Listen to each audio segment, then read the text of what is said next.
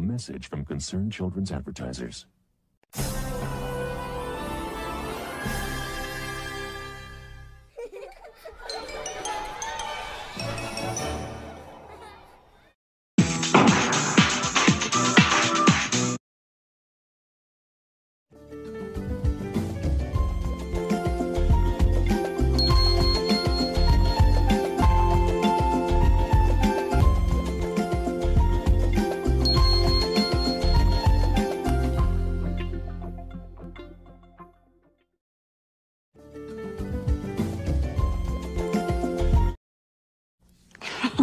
Guess what? What?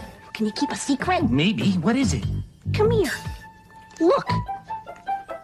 Wow! See? Isn't that neat? What is it? I don't know, but I found it first, so it's mine. What's that up there? Is that cheese? Could be. It sure looks like something to eat, doesn't it? Hmm.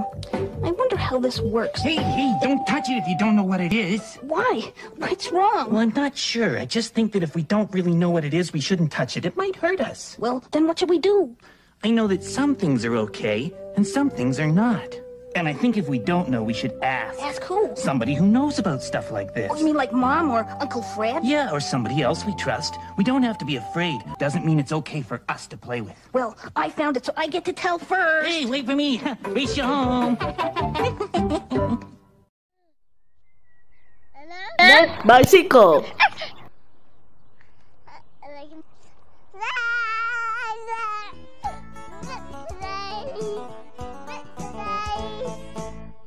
That's Ned's bike.